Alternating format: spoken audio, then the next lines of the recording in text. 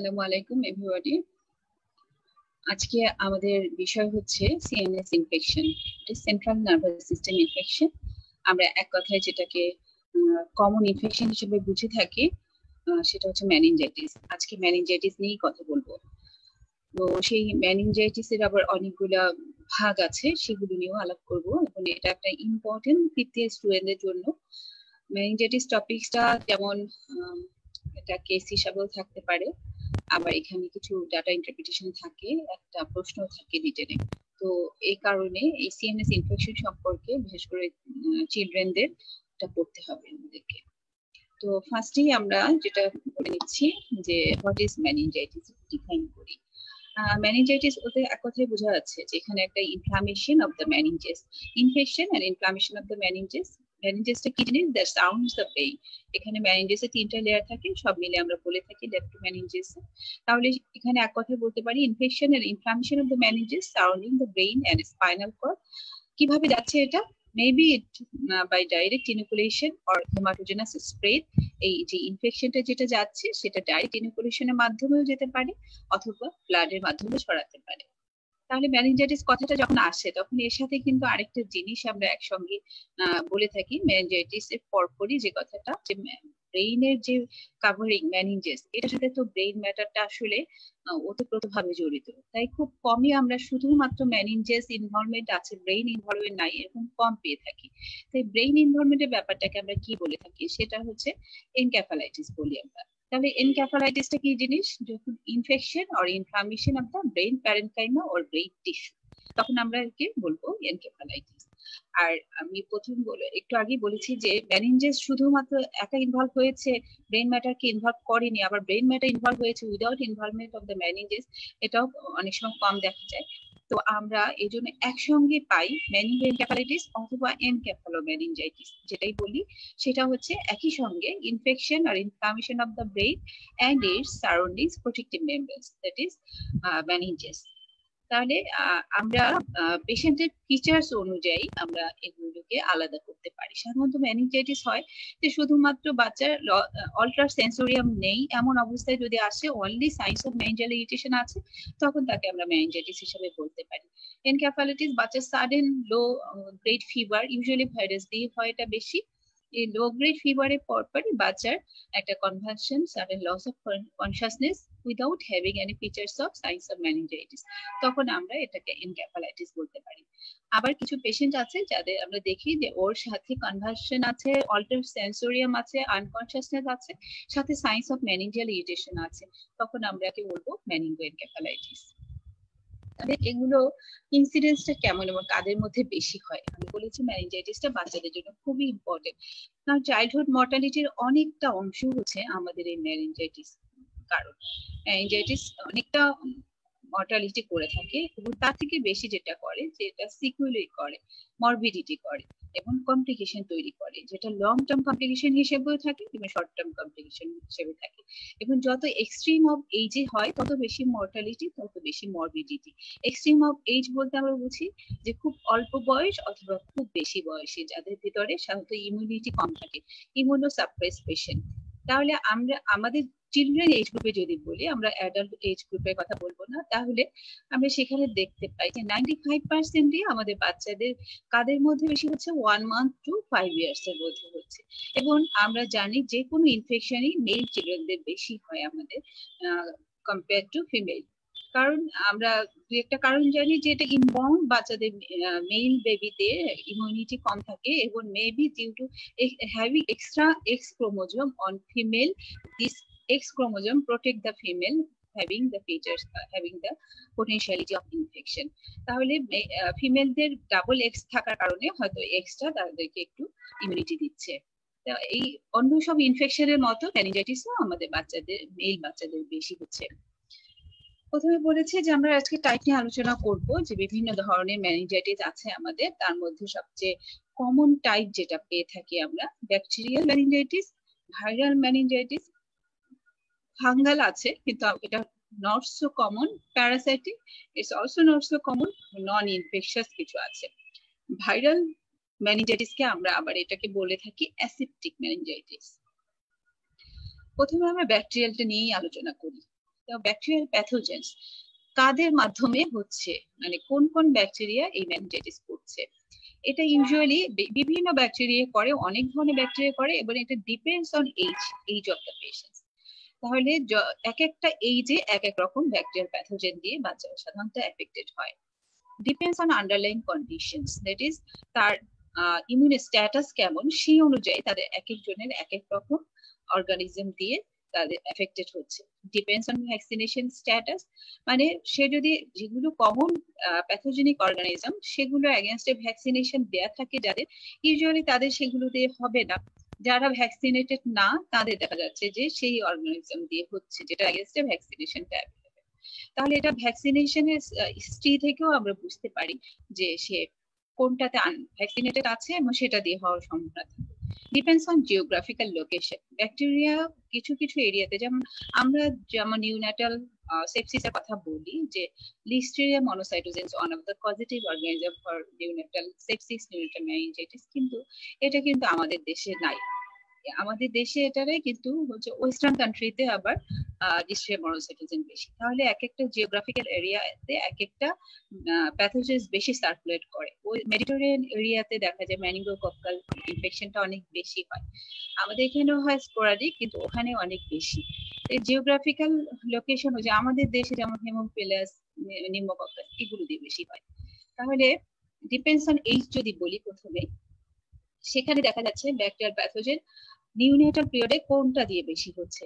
Group B স্টেপ্টোককাস সবচেয়ে common এটা forty nine percent এটা এটা কিন্তু গ্লোবাল স্ট্যাটিস্টিক্স এটা আমাদের দেশে যদি শুধুমাত্র ধরি এবং সেখানে আমাদের যতগুলো স্টাডি দেখা গেছে, আমরা বেশি পেয়েছি গ্রাম নেগেটিভ অর্গানিজম দিয়ে নিউনাটাল বেশি হচ্ছে সেখানে ইকোলাইটা বেশি এইটিন পার্সেন্ট এবং লিস্ট্রিয়া গ্রুপ বি স্টেপ্টোককাস এগুলো হচ্ছে ওয়েস্টার্নে বেশি, আমাদের সেকেন্ড পজিশনে গ্রুপ বি স্টেপ্টোককাস আর সবচেয়ে বেশি হচ্ছে গ্রাম পজিটিভে গ্রাম গ্রাম নেগেটিভও অ্যারাউন্ড টেন পার্সেন্ট দেখা যাচ্ছে আর gram positive around ten percent others gram negative কোনগুলো?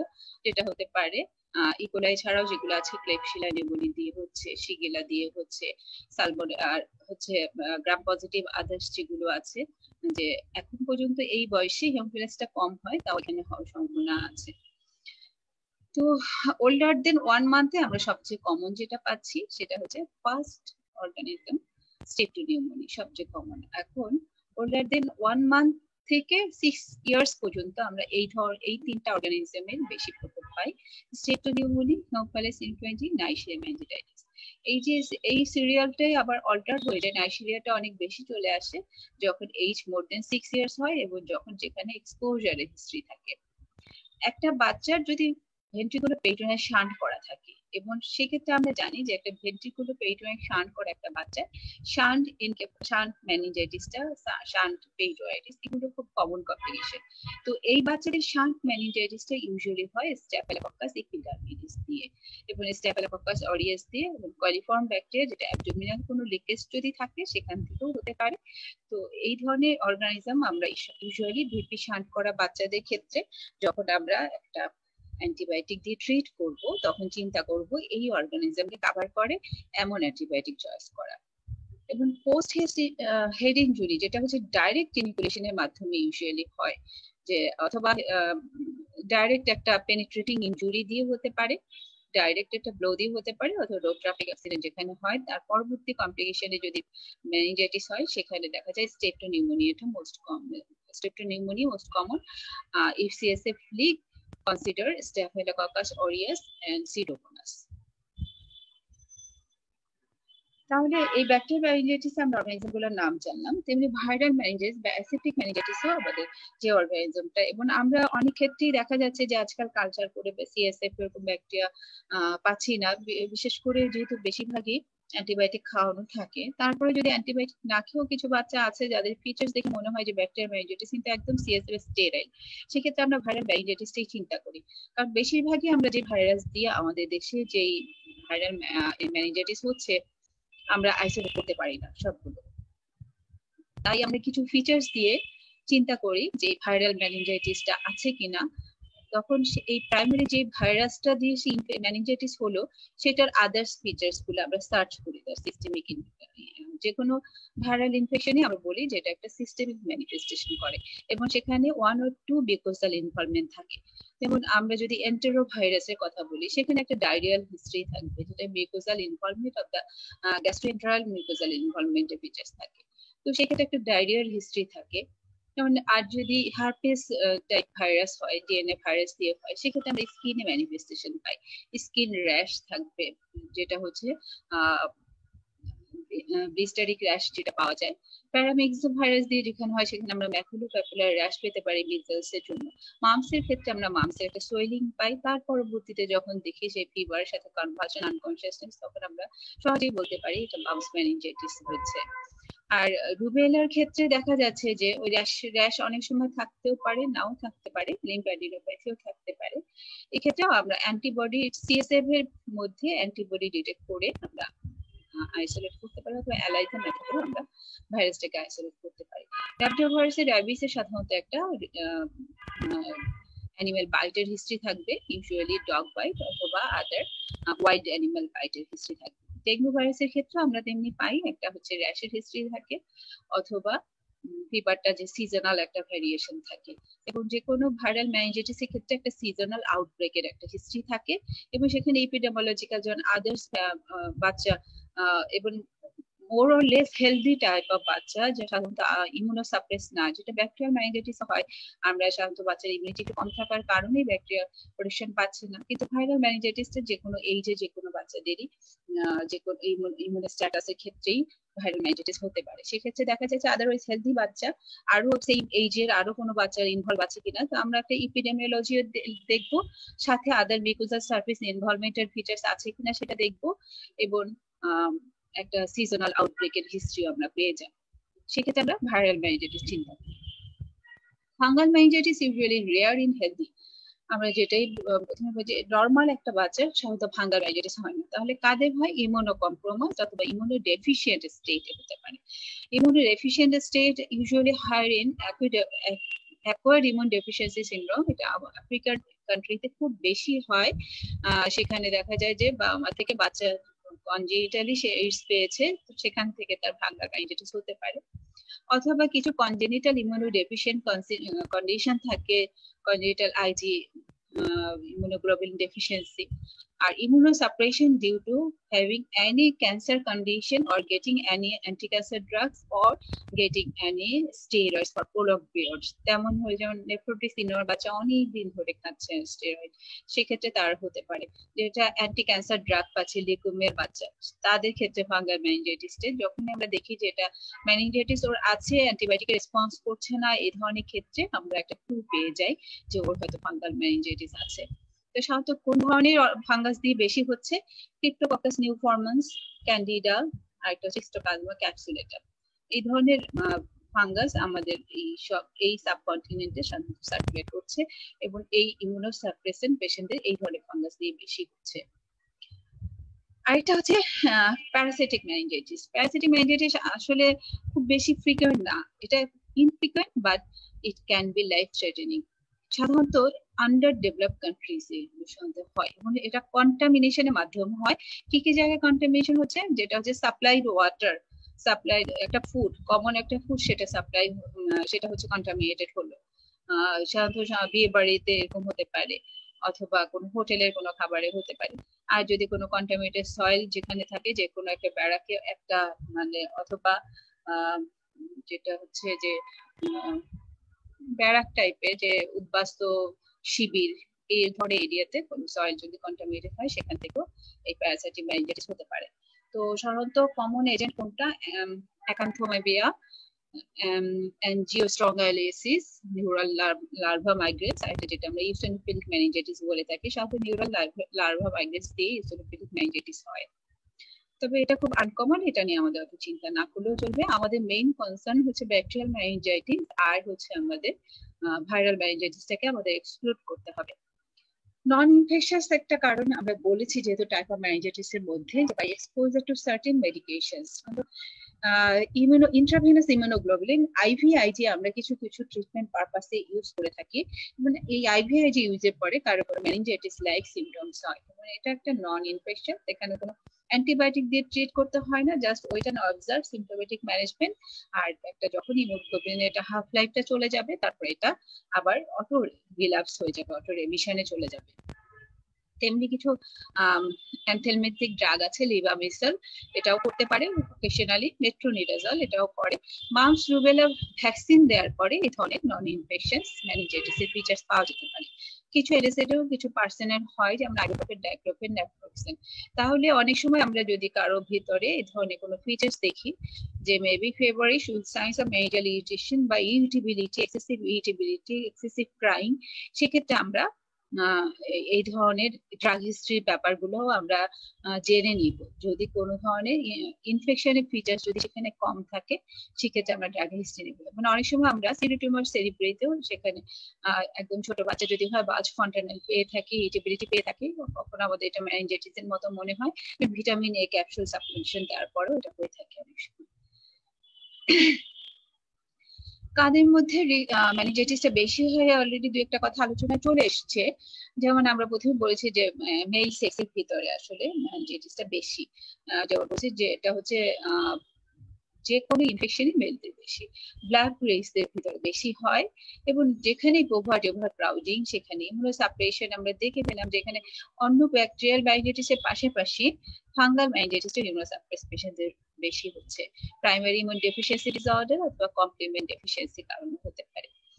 আর ওভার ওভার ক্রাউডিং এর সেখানে একজনের ইনফেকশন আরেকজনের মধ্যে খুব দ্রুত ছড়িয়ে যায়। এই ক্ষেত্রে ভাইরাল মেনিনজাইটিস ব্যাকটেরিয়াল মেনিনজাইটিস সব মেনিনজাইটিসই হবার রিস্কটা বেশি থাকে। এবং কারও যদি কোনো ব্রেইন এরিয়াতে কোনো অ্যানাটমিক্যাল ডিফেক্টস থাকে, সেক্ষেত্রে তাদের দেখা যাচ্ছে যে শুধু যে ম্যানিজাইটিস একবার হচ্ছে তা না বারে বারে হয়। সেক্ষেত্রে রিকারেন্ট ম্যানিজাইটিস হওয়ার সম্ভাবনা তাদের থাকে। কিন্তু কন্টিনেন্টাল আর অ্যাকর্ড সিএসএফ লিক যেমন dural midline facial defects dural sinus meningocele বায়োলোসিল এগুলি যাদের ভিতরে থাকে। অথবা ট্রমার কারণে যদি কোনো সাইনাস তৈরি হয়ে যায়, সেক্ষেত্রে এই ধরনের রিকারেন্ট ম্যানজাইটিস হওয়ার সম্ভাবনা থাকে আর আনইমিউনাইজেশনটা মানে বড় একটা ইম্পর্টেন্ট ফ্যাক্টর এবং আমরা অনেক ক্ষেত্রে দেখে থাকি যেসব বাচ্চাগুলো নন ব্রেস্ট ফিডেড বাচ্চা থাকে, তাদের ক্ষেত্রে ইমিউনিটি কম থাকে এবং non breast exclusive breast feeding absence of exclusive breast feeding is one of the risk factors for development of meningitis in children. কীভাবে যায়, এটা সোর্সটা আমরা যদি বলি কোথায় থাকে ব্যাকটেরিয়া গুলো ইউজুয়ালি আমাদের ধারে কাছেই থাকে, আমাদের সাথেই থাকে, আমাদের নাকে থাকে, মুখে থাকে নাইজোফেরিংস ওরোফেরিংস এই এরিয়া গুলোতে থাকে। তাহলে এই যে এখানে যে এখান থেকে একটা ডাইরেক্ট খুব কাছের নাক মুখ থেকে খুব দ্রুতই চলে যেতে পারে আমাদের ব্রেইনের ভিতরে। আর যেটা হচ্ছে যে আমাদের ব্রেইনের সারাউন্ডিংস যে স্ট্রাকচারগুলো আছে, আমাদের অর্গান যেগুলো আছে, সেখানে কোনো যদি কন্টেজিয়াস ফোকাস অফ ইনফেকশন থাকে, সেখান থেকে খুব দ্রুতই ইনফেকশনটা ব্রেইনে চলে যেতে পারে। তো আমাদের ব্রেইনের কাছাকাছি কি কি জায়গা আছে? একটা হচ্ছে প্যারানেজাল সাইনাস সেখানে যদি যার প্যারানেজাল সাইনোসাইটিস আছে আনট্রিটেড প্রলং পিরিয়ড ধরে সাফার করছে, তাদের ক্ষেত্রে প্যারানেজাল সাইনোসাইটিস থেকে হতে পারে। ওটাইটিস মিডিয়া ব্যাস্টয়েডাইটিস মানে কানের প্রদাহ থেকে মাস্টার্ড প্রসেসের প্রদাহ থেকে এখান থেকে হতে পারে। ওটাইটিস মিডিয়া থেকে ওখান থেকে রাপচার টিম্পেনিক মেমব্রেন থেকে চলে গেল ব্রেইনের ভিতরে। অরবিটাল সেলুলাইটিস থেকে খুব দ্রুত সুপিরিয়র অরবিটাল ভেইনের মাধ্যমে ব্রেইনের ভিতরে চলে যাচ্ছে ইনফেকশনটা গ্র্যানুলার ভার্টিব্রাল থেকে যদি সার্ভাইকাল হয়, সেখানে খুব দ্রুত গ্র্যানুলার ভার্টিব্রাল অস্টিওমাইলাইটিস সার্ভাইকাল রিজনে হলে খুব দ্রুত সেখান থেকে চলে যাচ্ছে। আরও হতে পারে যদি ডেন্টাল কোনো অ্যাবসেস থাকে ডেন্টাল অ্যাক্সেস থেকেও সেখান থেকেও ব্রেইনে চলে যাওয়ার সম্ভাবনা অনেক বেশি থাকে। আরেকটা ডাইরেক্ট পেনিট্রেটিং ইনজুরি তো এই হচ্ছে লোকাল লোকাল যেখান থেকে সারাউন্ডিং আরেকটা হচ্ছে ডিস্টেন্স ফোকাই থেকে হেমাটোজেনাস ডিসিমিনেশন যেমন কারও যদি কোনো অ্যাবডোমেনে কোনো ইনফেকশন থাকে লিভারে কোনো যদি অ্যাবসেস থাকে লাংসে যদি নিউমোনিয়া থাকে, কারও যদি কোনো গ্যাস্ট্রো এন্ট্রাইটিস ওখানে অ্যাবডোমিনাল কোনো ইয়া থাকে, যেমন সালমোনেলা এন্ট্রাইটিস থেকেও ম্যানিঞ্জাইটিস হতে পারে। তাহলে এই যে ডিস্টেন্স ফোকাই এগুলা থেকেও এরকম ম্যানিঞ্জাইটিস হতে পারে। কারও যদি পাইলোনেফ্রাইটিস থাকে, সেখান থেকেও ডিস্টেন্স ডিসিমিনেশন ব্রেইনে চলে যেতে পারে। তাহলে এই ব্যাকটেরিয়া গুলা, এই যে হেমাটোজেনাস স্প্রেডে ব্লাডের মাধ্যমে এসে, তারপরে ব্লাড ব্রেইন ব্যারিয়ারটা ক্রস করে সিএসএফ এ যায়, সেখানে through the choroid plexus of lateral ventricle choroid plexus lateral ventricle and the meninges and then circulate to the extra cerebral CSF and subarachnoid space এই যে এখানে যে সিএসএফ আসলো ব্লাড ব্রেন ব্যারিয়ারটা ক্রস করল, তারপরে সেখানে যখন ল্যাটারাল ভেন্ট্রিকল এন্ট্রি করল, সেখানে গিয়ে তারপরে সে কি করছে? তার ব্যাকটেরিয়াটা সেল ওয়াল রিলিজ করে ফেলছে। এবং তার ভিতরে যে প্রোডাক্টটা মেমব্রেন প্রোডাক্টটাকে রিলিজ করছে।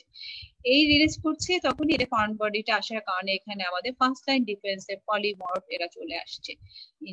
এইখানে আসার পরে যখন পলিমর্ফ চলে আসলো, তখন যে এখানে একটা লড়াই হচ্ছে, তার ফলে কি হচ্ছে? অর্গানিজম প্লাস আমাদের ফার্স্ট লাইন ডিফেক্ট আমাদের পলিমর্ফ এদের সাথে যুদ্ধের পরেই সেখানে তৈরি হচ্ছে একটা সাইটোকাইন্স কেমোকাইন্স এই যে ইনফ্লামেটরি একটা ক্যাসকেট তৈরি হলো ইনফ্লামেটরি মেডিয়েটার্সগুলো রিলিজ হলো। এর ফলেই দেখা যায় যে পেশেন্টের সিমটমসগুলো শুরু হয়ে যায়। তার ফিভার থেকে শুরু করে ফিভার অ্যানোরেশিয়া এই ধরনের ইনিশিয়াল সিমটমসগুলো শুরু হচ্ছে। এবং সাথে যেহেতু এটা ব্রেনের ভিতরে হচ্ছে ব্রেনের ভিতরে সে কি করছে? ম্যানিজেস ইনভলভ করতেছে এবং সেখানে ম্যানিজেসটা ইনফ্লামড হচ্ছে।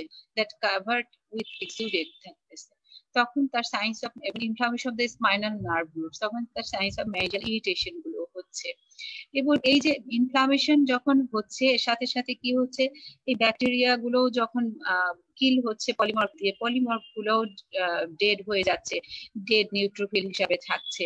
ব্যাকটেরিয়া গুলো যখন কিল হচ্ছে সেলগুলো যখন আমাদের নর্মাল সেলগুলো লাইসিস হচ্ছে, এই সেল থেকে তখন দেখা যাচ্ছে যে কিছু ফ্লুইড রিলিজ হচ্ছে। তার পাশাপাশি এখানে যেহেতু একটা এক্সুডেশন হচ্ছে ইনফ্লামেশন তখন increase capillary permeability capillary permeability গুলো বেড়ে যাচ্ছে। বেড়ে যাওয়ার ফলে এখানে ফ্লুইড এক্সুডেশন হচ্ছে।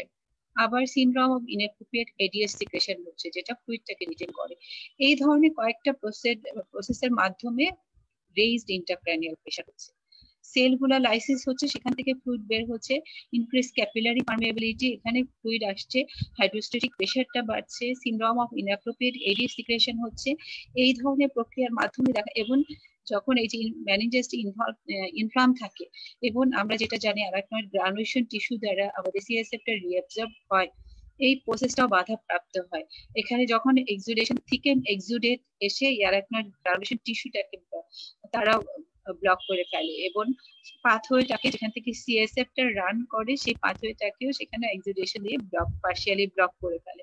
ফলে প্রপার প্যাসেজ অফ সিএসএফ থাকে না সিএসএফ টাও তখন অ্যাকোমোডেট হতে থাকে ব্রেইনে এই সব কিছু মিলে রেইজড ইন্টারক্রানিয়াল প্রেশার হচ্ছে। এবং রেইজড ইন্টারক্রানিয়াল প্রেশার যখনই হয়, তখনই আমরা অ্যাকর্ডিং টু এইজ বিভিন্ন সিমটমস পেয়ে থাকি। যদি ছোট বাচ্চা হয় বাজ ফন্টানেল হয়ে যায়, আমরা দেখি মাথার তালুটা উঁচু হয়ে গেল, আর যেসব বাচ্চাদের ফন্টানেল ক্লোজ হয়ে গেছে, তখন এটা প্রেশার ভিতরে প্রেশারটা বাড়ার কারণে তার আদার্স ফিচার যেমন ব্রেনের মেডুলা এবং অন্য সব ব্রেন স্টেমে প্রেশারটা পড়ার কারণে তার যে সাইন্স অফ রেজিস্ট্যান্ট প্রেশার যে ফিচার্সগুলো ব্রাইটিকার্ডিয়া ট্যাকিপনিয়া অথবা ট্যাকিকার্ডিয়া ট্যাকিকার্ডিয়া অথবা ট্যাক অথবা ব্র্যাডিঅ্যাপনিয়া মানে অ্যাপনিয়াও হতে পারে ট্যাকিপনিয়াও হতে পারে। ট্যাকিকার্ডিও হতে পারে ব্র্যাডিকার্ডিও হতে পারে। তারপর আমরা যেটা আরও পেয়ে থাকি বাচ্চাদের, ওখানে যেটা ব্রেন স্টেমে বিভিন্ন ধরনের ক্র্যানিয়াল নার্ভ থাকে ক্র্যানিয়াল নার্ভ পজিটিভ ফিচার্স পেয়ে থাকি।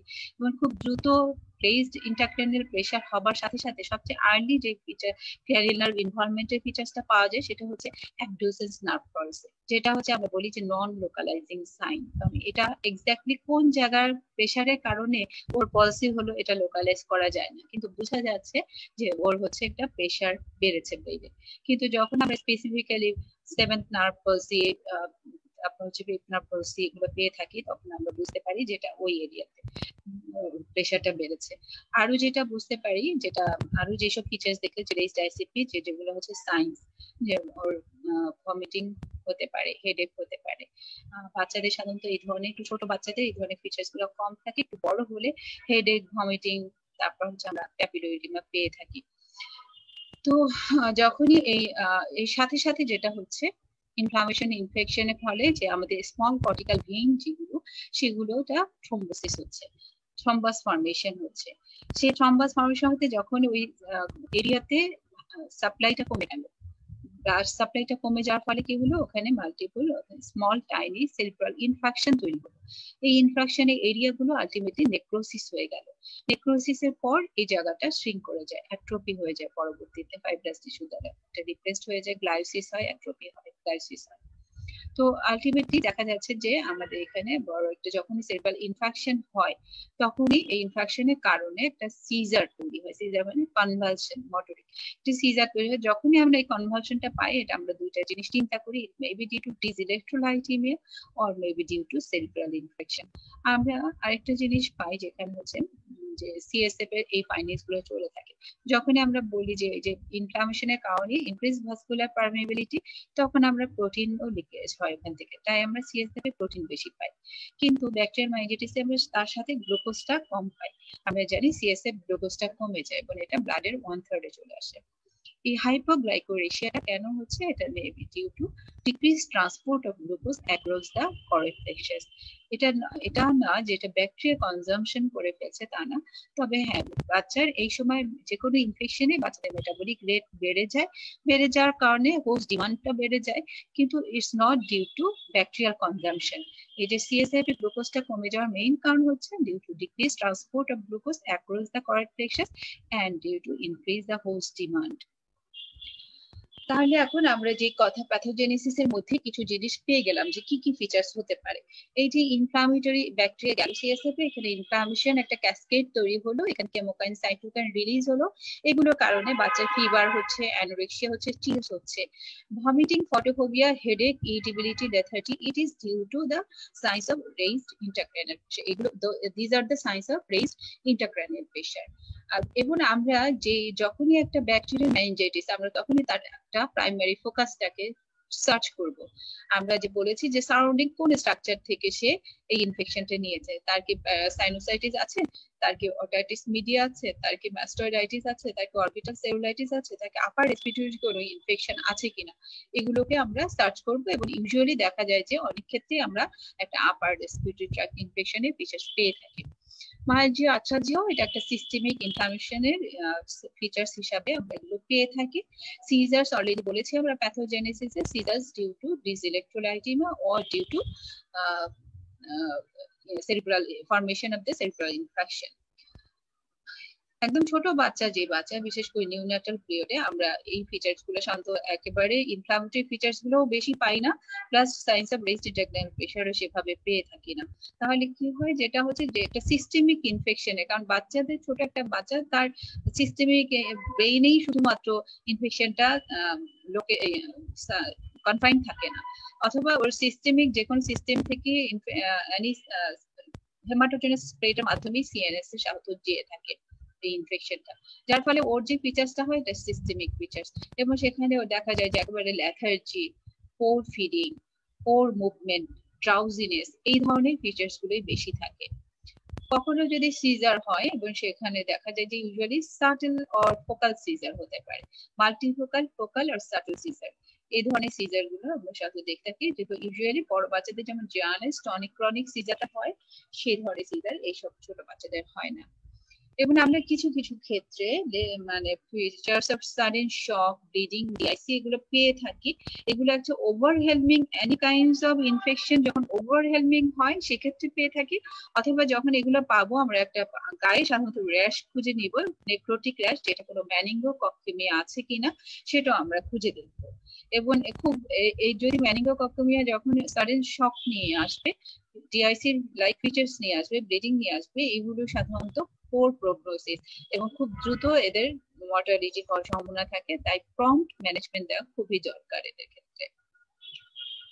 আমরা যখনই এ ধরনের ফিচার্স নিয়ে আসবে, অবশ্যই আমরা signs of meningeal irritation signs of ম্যানিনজাইটিসগুলো খুঁজবো। তার মধ্যে যেটা সায়েন্স অফ ইনফেকশন যে ফিচার্সগুলো বললাম, যে ফিভার থাকবে, অবশ্যই তার টেম্পারেচার রেঞ্জ থাকবে এবং যখনই একটা সিস্টেমিক ইনফেকশন হয় আমরা তখন এর সাথে অ্যাসোসিয়েটেড ফেলোরও পাবো, বিশেষ করে ব্যাকটেরিয়াল ম্যানিনজাইটিসে আমরা বেশি ফেলোর পেয়ে থাকি, অথবা কিছু হেমোরেজিক ভাইরাল ইনফেকশনের ক্ষেত্রে যদি সিএনএস ম্যানিফেস্টেশন হয়, সেক্ষেত্রে আমরা ফেলোর পাবো। সেরিব্রাল ম্যালেরিয়াটাকে এক্সক্লুড করার জন্য আমাদের ফেলোরটাকে দেখতে হবে বেশি করে। ফার্স্ট ব্রিডিং বলেছি, যেটা হচ্ছে features of upper respiratory tract infection R bacterial pneumonia আছে কিনা, এখানে আমার এটা দেখতে হবে যে ওর ফোকাসটাকে আইডেন্টিফাই করার জন্য ফার্স্ট ব্রিডিং কফ অথবা ওর signs of raised internal pressure এটা ট্যাকিপনিয়া হিসাবে দেখা দিচ্ছে কিনা। ওর পোস্টারটা দেখতে হবে is there any features of decortication decerebration purpura petechiae দেখতে হবে, এটা আমাদের ম্যানিঙ্গোকক্কাল ইনফেকশনের জন্য হচ্ছে কিনা, বা কোনো ভাইরাল কোনো ভাইরাল কোনো স্কিন মিকোজাল সারফেস ইনভলভমেন্টের ফিচার্স আছে কিনা। পেজ আইসিপির ফিচার্স অলরেডি আমি কিছু কিছু বলেছি, যেমন হচ্ছে হাইপারটেনশন ব্র্যাডিকার্ডিয়া আবার ব্র্যাডিকার্ডিও যেমন হয়, ছোট বাচ্চাদের ক্ষেত্রে ট্যাকিপনিয়াও হয় ট্যাকিকার্ডিয়াও হয়। প্যাপিলোইডিমা আমরা এটা হচ্ছে অপথ্যালমোস্কোপ বা ফান্ডোস্কোপ দিয়ে দেখব। ক্যানিয়াল নার্ভ পলসি বলেছি যখন রেজ ইন্টারনাল প্রেশার হয়, তখন ব্রেন স্টেমের কম্প্রেশন কারণে বা ব্রেন স্টেমের মধ্যে আমাদের বেশিরভাগ ক্যানিয়াল নার্ভগুলো থাকে, তখন ক্যানিয়াল নার্ভ পলসি হয়। অ্যাপনিয়াও হতে পারে হাইপার অ্যাপনিয়াও হতে পারে due to involvement of the brain stem এবং পোস্টার অ্যাবনর্মালিটি যেটা আমি অলরেডি বলেছি decortication decerebration decortication is better than decerebration যখনই হচ্ছে আমাদের ইনভলভমেন্ট অফ ব্রেন স্টেমের আপ টু রেড নিউক্লিয়াসের উপর পর্যন্ত থাকে, তখন আমরা ডিকর্টিকেশন পাই। ডিসেরিব্রেশন মানে হচ্ছে involvement of the red nucleus হয়ে গেছে তার মানে এটা হচ্ছে more previous then decortication R altered level of sensorium any chi any টাইমই ডেভেলপ করতে পারে, এটা যত বেশি যত বেশি involvement the more involvement of the camera the more will be the altered level of sensorium lethargy drowsy state থেকে deep comatose stage এই পর্যন্ত আমরা এটা সাধারণত গ্লাসগো পাওয়ার স্কেল দিয়ে আমাদেরকে এটা অ্যাসেস করতে হবে যে বাচ্চা সেন্সোরিয়ামটা কোন লেভেলে আছে। এবং অবশ্যই আমাদের দেখতে হবে is there any signs of meningeal irritation signs of meningeal irritation কি কি আছে আমাদের clinical signs of meningeal irritation commonly আমরা দেখে থাকি neck rigidity Kernig sign Brudzinski sign neck rigidity দেখাটা এক্সামিন করা, এগুলো আমাদের বেডসাইড এক্সামিন করতে হবে। এবং এই ধরনের নার্ভাস সিস্টেম এক্সামিনেশনের ভিতরে যেটা হচ্ছে বেডসাইড এক্সামিনেশনের মধ্যে যে কোনো ক্র্যানিয়াল নার্ভ এক্সামিনেশন আমাদের করতে দিতে পারে। এবং সাথে আমাদের এটাও বলতে পারে যে তুমি দেখো সায়েন্স অফ ম্যানেজালিটেশন দেখো। এটাও একটা হতে পারে যে একটা নার্ভাস সিস্টেম এক্সামিনেশন একটা অনেক বড় এক্সামিনেশন পার্ট এটা পুরোটা ফিফথ ইয়ারের জন্য হয় না কমপ্লিট হয় না এটা আমি ভিতরে। তাই হচ্ছে কখনো দেখা যায় যে just motor examination of lower limb অথবা ক্র্যানিয়াল এক্সামিনেশন অথবা এরকম বলতে পারে যে তুমি সায়েন্স অফ ম্যানেজালিটেশন দেখো। তাহলে আমাদের নেক রিজিডিটি কীভাবে দেখতে হয় এটাও জানতে হবে কার্নিক সাইনটা কীভাবে দেখতে হয় ব্রুট ব্রুজেরিস্কে সাইনটা কীভাবে দেখতে হয় এটাও জানতে হবে। কার্নিক সাইন করে করে আমাদের প্র্যাকটিস করতে হবে। সাধারণত নাইনটি ডিগ্রি আমরা এভাবে এটা ফ্লেক্স করব। ফ্লেক্স করার পরে নাইনটি ডিগ্রি ফ্লেকশন কন্ডিশন থেকে আমাদের নি জয়েন্টটাকে এক্সচেঞ্জ করতে হবে। এই সময়টাতে তার হয়তো অপোজিট অপোজিট যে লিমটা লোয়ার লিম সেটা ফ্লেক্স হয়ে যাবে। তাহলে আমরা এটাকে বলব কার্নিক সাইন ব্লুজেন্সকি সাইনটা যখন আমরা নেগ্লিজিডিটি দেখব, তখন তার যদি নি ফ্লেকশন হয়ে যায় পত্নী, তখন এটা বলব যে ব্লুজেন্সকি সাইন পজিটিভ আমরা যখন একটা ম্যানজাইটিস পেশেন্ট পাবো, তখন তো আমরা আসলে পজিটিভ অর্গানিজমটা তো যদি জাস্ট ফোকাসটাকে আইডেন্টিফাই করতে পারি it's better to know the cause of the meningitis. So, whether it is bacterial meningitis, whether it is viral meningitis. Herpes just lesion আছে এমন পেশেন্টের মেনিনজাইটিস আমরা ইজিলি বলতে পারি এটা ভাইরাল মেনিনজাইটিস কোনো পেশেন্টের মামসাসের সাথে মেনিনজাইটিস ফিচার্স আমরা মাউস মেনিনজাইটিস বলতে পারি। কারণ মেজেলস এর র্যাশ হচ্ছে ক্যারেক্টারিস্টিক্স র্যাশ মেজেলস এর আদার ফিচার্স ফিভার সাথে কনভালশন এবং নেক্রিজিটি আমরা সহজেই বলতে পারি। ব্যাকটেরিয়াল মেনিনজাইটিস এর ওর একটা এয়ার ইনফেকশন আছে, আমরা সহজেই বলতে পারি এটা ব্যাকটেরিয়াল মেনিনজাইটিস এখান থেকে হচ্ছে অথবা সিএসএফ লিক আছে, ওর কন্টিনিউয়াস অকুরিয়া হচ্ছে সেক্ষেত্রে কারও যদি কন্ট্যাক্ট উইথ টিউবারকুলার পেশেন্ট থাকে, সাথে যদি খুব বেশি ওয়েট লস থাকে non immunisation is BCG vaccine দেওয়া নাই এই ধরনের যখন থাকে এবং এটা যদি prolong long standing fever followed by convulsion unconsciousness এবং একটা স্টেপ স্টেপ ফলো করে, এটা first stage second stage third স্টেজে গিয়ে অফিস হয়ে যায়। তো এই ধরনের স্টেজ যখন ফলো করে, সাথে যদি আমরা দেখি যে বাচ্চার একটা কন্ট্যাক্ট হিস্ট্রি আছে, সেক্ষেত্রে আমরা একটু চিন্তা করি যে টিউবারকুলার মেনিনজাইটিস কিনা। এবং সেক্ষেত্রে আরেকটা যেটা হয় যে আমরা অ্যান্টি ব্যাকটেরিয়াল এজেন্ট দিয়ে ট্রিট করে দেখি অ্যান্টিবায়োটিক্যাল এজেন্ট দিয়ে, কিন্তু ট্রিটমেন্টের রেসপন্স হচ্ছে না। Around one to two weeks হয়ে যাওয়ার পরও ট্রিটমেন্টের রেসপন্স হচ্ছে না। সেক্ষেত্রে আমরা টিউবারকুলার মেনিনজাইটিস সাসপেক্ট করি এবং সাধারণত যারা ইমিউনো কম্প্রোমাইজ এবং এইজ খুব কম সেভেন মান্থ মানে বিলো সেভেন মান্থ এই ধরনের বাচ্চাদের সাধারণত বেশি টিউবারকুলার মেনিনজাইটিস হয়ে থাকে। ভাইরাল মেনিনজাইটিসটা এট এনি এজ হতে পারে। যে অলরেডি আমি বলেছি যে একটা এপিডেমিওলজিক্যাল হিস্ট্রি থাকবে সিজনাল ভেরিয়েশন থাকবে, সাথে ওর প্রাইমারি ডিজিজটাতে ওই প্রাইমারি ভাইরাসটার একটা ম্যানিফেস্টেশন থাকবে। যেটা হচ্ছে surface affection brain abscess usually এখানে একটা ব্রেন অ্যাবসেন্স একটা লং স্ট্যান্ডিং একদিন দুদিনে হয় না। তাহলে হিস্ট্রিটা একটু লং থাকবে। Usually initially low grade fever থাকে later on it become the features of involvement focal involvement of the এই ফোকাল ইনভলভমেন্ট অফ ব্রেইনের একটা ফিচার্স আমরা পাবো। যেহেতু একটা এরিয়া নির্দিষ্ট এরিয়াতে ব্রেইন অ্যাবসেস হয়। সেখানে সেই এরিয়াটা ইনভলভমেন্টের যদি ফ্রন্টাল এরিয়া হয়, তাহলে ইউজুয়ালি দেখা যাচ্ছে ফ্রন্টাল এরিয়াতে ব্রেন অ্যাক্সেসটা হয়, তাহলে অনেক দিন এটা ডরমেন্ট থাকতে পারে।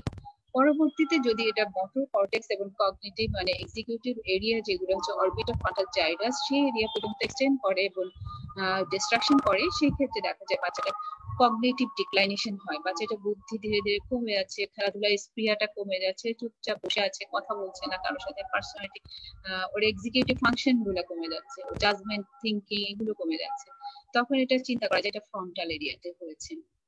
যদি টেম্পোরাল এরিয়াতে কোনো অ্যাক্সেস হয়, তখন দেখা যাচ্ছে যে বাচ্চা কিছু সাইকোলজিক্যাল ফিচার্স নিয়ে বাচ্চা প্রেজেন্ট তাদের হ্যালুসিনেশন ডেলিরিয়াম এই ধরনের ফিচার্স থাকে। আর যদি বাচ্চা স্পিচে প্রবলেম নিয়ে আসতে পারে টেম্পোরাল এরিয়াতে হলে অক্সিপিটাল রিজনে খুবই কম হয়। তারপর যদি কোনো লোকাল পেন্ট্রেটিং ইঞ্জুরির ফলে যদি হয়ে থাকে, সেক্ষেত্রে ভিজুয়াল ডিস্টারবেন্স নিয়ে চলে আসতে পারে। প্যারাইটাল এরিয়াতে যদি অ্যাক্সেস হয়, সেক্ষেত্রে দেখা যাচ্ছে যে উইকনেস থাকে একটা ইউজুয়ালি হ্যান্ড এরিয়াতে, আর্ম এরিয়াতে উইকনেস থাকে। মোটর কর্টেক যত বেশি ইনভলভমেন্ট হয়, তার একটা প্রোফাইল নিয়ে উইকনেস নিয়ে আসবে। তো যে এরিয়াতে তার ইনভলভমেন্ট সেতে সেখানকার আমরা একটা ফোকাল নিউরোলজিক সাইন পাবো উইকনেস পাবো ক্র্যানিয়াল নার্ভ পাবো। আমরা একটা লং স্ট্যান্ডিং ফিভারের হিস্ট্রি থাকবে এবং ধীরে ধীরে ওর যে ফিচার্সগুলো সিএনএস যে ফিচার্সগুলো, এগুলো সাটল হবে, আস্তে আস্তে দেখা দেবে এবং it will depends on the area of involvement of the brain brain টিউমারও সেরকমই, তবে সেখানে এখানে যেটা হচ্ছে ব্রেন টিউমারে ইনফ্লামেটরি সাইন সিমটমসগুলো কম থাকে। এক্সেপশন মেডুলোব্লাস্টোমাতে অনেক সময় ফিভারও থাকে।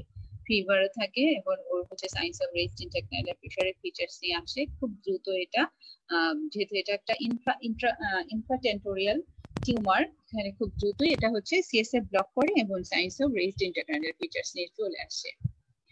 তবে আমাদের ব্যানিনজাইটিসের ব্যাকটেরিয়াল মেনিনজাইটিস ভাইরাল মেনিনজাইটিসের সাথে সবচেয়ে কমন যে ডিফারেন্সিয়ালসটা আগে আসে, সেটা হচ্ছে সেরিব্রাল ম্যালেরিয়া এখানেও শর্ট ডিউরেশন অফ ফিভার থাকে ফিভারের সাথে কনভালশন থাকে কনভালশন ফলোড বাই আনকনসিয়াসনেস হয় এবং সেরিব্রাল ম্যালেরিয়ার ক্ষেত্রে আমরা একটা এপিডেমিওলজিক্যাল থাকে, সেই হিস্ট্রিটা আমরা নিতে পারব যে এটা হাই রিক্স এরিয়াতে থেকে আসছে কিনা সেই হিল হিলফ্রাক্স এরিয়া থেকে এসছে কিনা, অথবা তার ওখানে কোনো ট্রাভেলিং এক ওয়ান মান্থের ভিতরে কোনো ট্রাভেল হিস্ট্রি ছিল কিনা। এছাড়া যেখানে আরও কিছু সিস্টেম ম্যানিফেস্টেশন থাকে, যেমন এখানে পেলোডটা খুব বেশি থাকতে পারে সেরবাল ম্যালেরিয়া অথবা অ্যালজিভ টাইপ অফ ম্যালেরিয়া যদি হয়, সেখানে একটা গ্যাস্ট্রোএন্টারাইটিসের ফিচার্স থাকতে পারে। এবং ফিভারটা ইউজুয়ালি হয় হাই গ্রেড চিলস আর রাইগর থাকে। এবং একটা মাল্টি সিস্টেম ইনভলভমেন্টের ফিচার্স আমরা পেয়ে থাকি সেরবাল ম্যালেরিয়াতে তো যখনই আমরা একটা বাচ্চাকে এই ধরনের ফিচার্সগুলো দেখব, আমাদের একটা ইনভেস্টিগেশন প্রোটোকল তৈরি করতে হবে। আমাদের বাচ্চা নিয়ে আসলো ফিভার কনভার্সন অথবা ইরিটেবিলিটি অথবা সাইন্স অফ মেনিঞ্জাল ইরিটেশন আমাদের ডিফারেন্সিয়েট সাম এটা meningitis, whether it may be bacterial meningitis or it may be viral meningitis or it may be tubercular meningitis. Clinically আমি ক্লিনিক্যালি আমি কিছু জাজমেন্টে আসব, তারপরে আমাকে এটা হচ্ছে একটা ইনভেস্টিগেশন প্রোটোকল তৈরি করতে হবে। অবশ্যই আমাকে হিসেবে অ্যানালাইসিস করতে হবে ইন দ্য মেন টাইম আমার CBC complete blood picture serum electrolytes একটা হচ্ছে ক্যাপিলারি ব্লাড গ্লুকোজ লেভেল আমরা arterial blood gas analysis C protein এই ধরনের টেস্টগুলো একই সঙ্গে আমরা ব্লাড যখন ব্লাড পাঠাবো সবগুলো টেস্টের জন্য পাঠাবো সাথে ব্লাড কালচারটাও দেবো। এর পাশাপাশি আমরা যেটা বলছি টিউবারকুলার মেনিনজাইটিস যদি এটা একটা লং স্ট্যান্ডিং ফিভার হতে, হয়ে থাকে, বাচ্চা যদি এই ধরনের কন্টেক্ট হিস্ট্রি থাকে আনইমিউনাইজেশনের হিস্ট্রি থাকে, তাহলে আমরা টিউবারকুলিন টেস্ট এবং সাথে আমরা পরবর্তীতে এখানে পজিটিভ কিছু পাওয়া গেলে জিন এক্সপার্টটার কথাও চিন্তা করব। ব্লাড কালচার অবশ্যই আমি ব্যাকটেরিয়াল ভাইরাল দুটো ক্ষেত্রেই দিব। এবং ব্যাকটেরিয়াল ক্ষেত্রেই বেশি আর যেটা হচ্ছে আমাদের ভাইরাসের ক্ষেত্রে যেটা হচ্ছে স্পেসিফিক আমরা সিএসএফ থেকে সাধারণত এটা এলাইজা মেথডে ভাইরাসটাকে আইসোলেট করতে পারি অথবা সিএসএফ এ আমরা এটা অ্যান্টিবডি ডিটেক্ট করতে পারি। আর আমাদের নিউরো ইমেজ কোনটা কখন করব সেটাও আমাদেরকে আমরা পরে আসছি যে কোন নিউরো ইমেজে আমরা ম্যানিনজাইটিস এর জন্য কি কি চেঞ্জ পেতে পারি। নিউরো ইমেজের মধ্যে সিটি স্ক্যান করতে পারি এমআরআই করতে পারি এবং ছোট বাচ্চাদের ক্ষেত্রে আলট্রাসাউন্ড অফ ব্রেনও করা হয়, যাদের ফন্টানেল ওপেন আছে এবং কিছু কিছু ক্ষেত্রে আমরা ইলেকট্রোএনক্যাফেলোগ্রাফও করতে পারি। বিশেষ করে কিছু ভাইরাল ম্যানিনজাইটিস যদি হার্পেস জোস্টার বা হার্পেস সিমপ্লেক্স দিয়ে ভাইরাল ম্যানিনজাইটিস হয়, সেখানে ইলিতে আমরা একটা স্পেসিফিক ফিচার্স পাই। এখন অ্যানালাইসিস অফ সিএসএফ এর আগে, যেটা হচ্ছে সিবিসি তে আমরা কি চেঞ্জ পেতে পারি? যদি ব্যাকটেরিয়াল ম্যানিনজাইটিস হয়, তাহলে দেখা যাচ্ছে যে সিবিসি তে আমরা ব্যাকটেরিয়াল ম্যানিনজাইটিস হলে সেখানে একটা নিউট্রোফিলিক লিকোসাইটোসিস পেতে পারি। এখানে হিমোগ্লোবিনটা কমে যাবে, যেহেতু আমরা জানি ব্যাকটেরিয়াল ম্যানিনজাইটিস একটু ইমোনোকম্প্রোমাইজ বাচ্চাদের হয়, তাদের অলরেডি হিমোগ্লোবিন কম থাকে মানে যখন ব্যাকটেরিয়াল ইনফেকশনটা হয়, তখন তাদের হিমোগ্লোবিনটা আরও কমে যায়, কারণ এই ব্যাকটেরিয়াটা আয়রনটাকে কনজাম্পশন করে ফেলে, কারণ আয়রন ডেফিসিয়েন্সি অ্যানিমিয়া থাকে। তাহলে এখানে নিউট্রোফিলিক লিকোসাইটোসিস সাথে পেলোড থাকবে। আর প্লেটলেট কাউন্ট যদি এটা ম্যানিঙ্গোকক্কাল ম্যানিঙ্গোকক্কাল ম্যানিনজাইটিস না হয় প্লেটলেট কাউন্ট ইউজুয়ালি নর্মাল থাকে। কিছু কিছু ভাইরাল ইনফেকশনে প্লেটলেট কাউন্ট কমে যায়। আর যদি ভাইরাল ইনফেকশন গুলোতে ইউজুয়ালি আমরা লিকোপেনিয়াও পেতে পারি। কোনো কোনো ক্ষেত্রে আমরা নর্মালি পাই বেশি। এবং কিছু যেখানে লিকোপেনিয়া পাই সেটা দেখা যাচ্ছে যে একটা overwhelming viral infection that may suppress the bone marrow এবং সেখানে আদার্স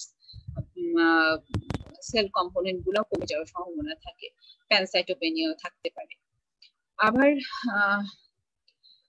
যদি মামস এনকেফালাইটিস মামস ম্যানেজাইটিস হয়, সেক্ষেত্রে দেখা যাচ্ছে যে ইউজুয়ালি সেল কাউন্টটা নর্মালি থেকে লিম্ফোসাইটোসিস থাকতে পারে সেখানে।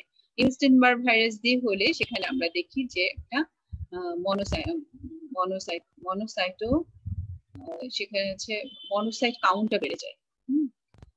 এবং এখানে লার্জ সেল পাওয়া যায় এই জন্য এটা কি বলে? যে ভাইরাস অথবা আমরা যেটা